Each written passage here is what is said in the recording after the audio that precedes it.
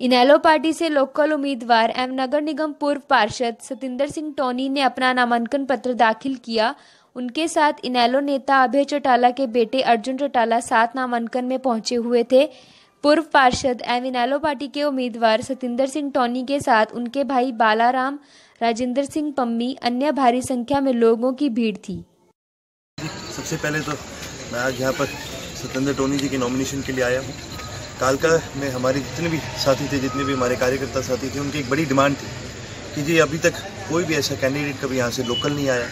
और जब candidate local ना हो तो कई सारे ऐसे मुद्दे होते हैं। स्टेट के मुद्दे तो हर पार्टी उठा ही रही है वो आपको हमारे मैनिफेस्टो में भी मिलेंगे लेकिन कई ऐसे मुद्दे होते हैं जो लोकल एरिया के होते हैं, जो यहाँ के रेजिडेंट समझ सकते हैं, जो यहाँ के रहने वाला ही उन पर कोई सुधार अगर कर सकता है तो करें। इसीलिए हमारी पार्टी के जितने भी मेन कार्यकर्ता हैं कालका से सभी ने टोनी जी का नाम आगे दिया।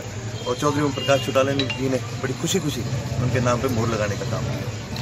देखिए जी, ये जो फूट है, इसको आप कहते हैं, हम इसको फूट नहीं मानते, हम तो इसको एक क्लेंसिंग मानते हैं। कई ऐसे नेता थे पार्टी के अंदर जिन्होंने कहीं ना कहीं पार्टी के अंदर रह के पार्टी को कमज़ोर करने का काम किया। लेकिन आज जब वो हमारे साथ नहीं है, हमारे नए साथी हैं, युवा साथी हैं, उनको मौका मिला, मेरे जैसे साथियों को आगे बढ़ने का मौका मिला।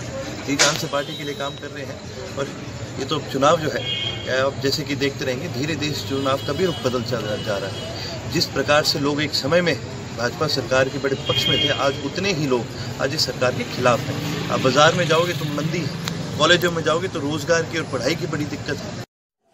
नगर निगम पूर्व पार्षद एवं इनेलो पार्टी के उम्मीदवार सतिंदर सिंह टोनी ने कहा कि आजकल कालका हल्के में लोकल का मुद्दा काफ़ी गर्म है और मैं लोकल हूँ और लोगों के मुद्दे और समस्याओं को ही मैंने चुनावी एजेंडा बनाया है और इनेलो पार्टी ने कालका हल्के के लिए मुझे चुना है और उन्होंने अभय चौटाला का भी आभार जताया है। मैंने आईएनएलडी की तरफ़ से आज अपना नामांकन दाखिल किया है, जो कि मैं यहाँ का सबसे लोकल कैंडिडेट हूँ।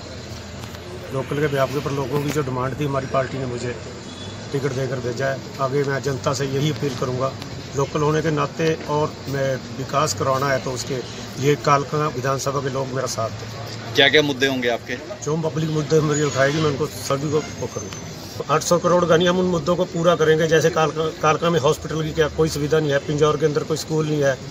मैं तो एक पार्षद होने के नाते बहुत सारे विकास कार्य किए हैं।